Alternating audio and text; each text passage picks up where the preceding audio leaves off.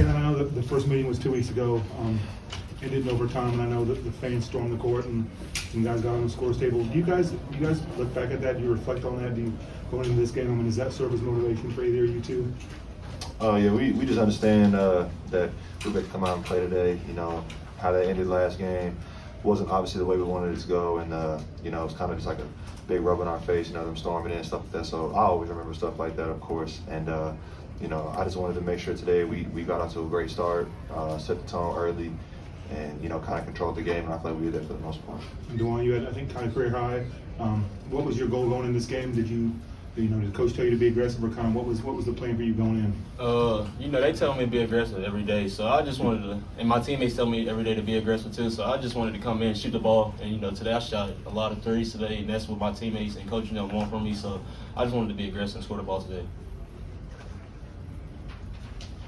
Hey, how good did the, the fast start feel after the last few games? Oh, it was great. Uh, I think even you know last game we started off pretty well, even though they got out to like a good jump. But I think that's kind of the key to, to our success. You know, is uh, starting off fast. You know, not having to play catch up throughout the entire game.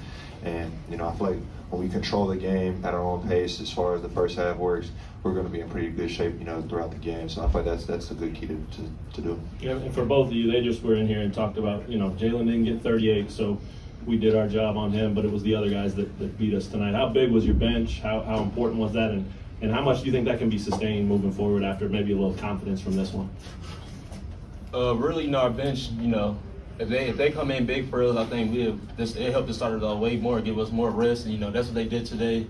And but I think today we played, we guarded well too, and did you know we shared the ball a little bit too, so I think that that fit in right in well with us.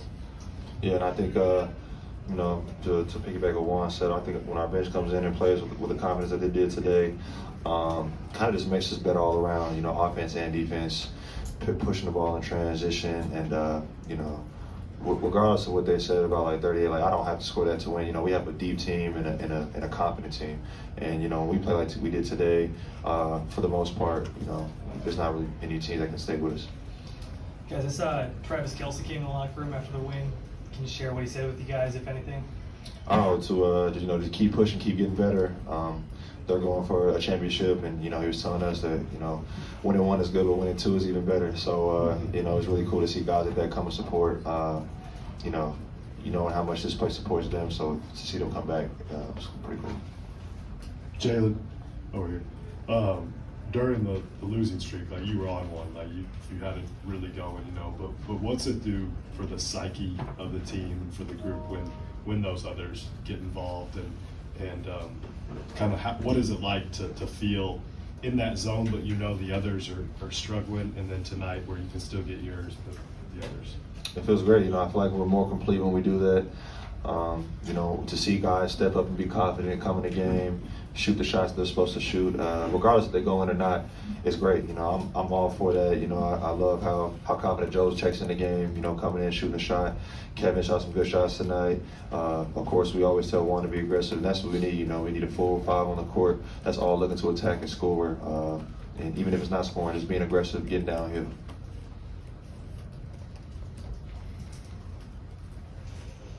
Juan, you got some big shots to go down the stretch. Just describe what you know was open and what made you so effective in closing time tonight. Uh, I think uh, when I hit that big three that Jay Will passed to me, uh, Coach drew something up, and then uh, Noel he was just like came in the lane. I was just I was already ready to uh, shoot the ball because Coach put me over there for a reason, and Jay I, uh, Jay Will trusted me, and I just made the shot, and then you know the uh, ball screen high the the high ball, ball screen we do at the top of the key really Cause that's that's for me to make a play. So I was just making a play for my team.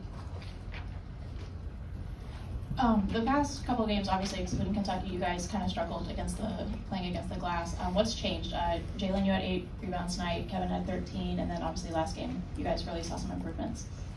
Uh, we just know we limit teams as far as second chance points. Our uh, our opportunities on offense, you know, continue to grow think we're best when we're able to get the rebound, push the ball in transition, make the right plays, and uh, you aren't able to get out in transition as much when you don't rebound. So we kind of just started locking in on, on limiting teams to one shot and uh, starting offense off that.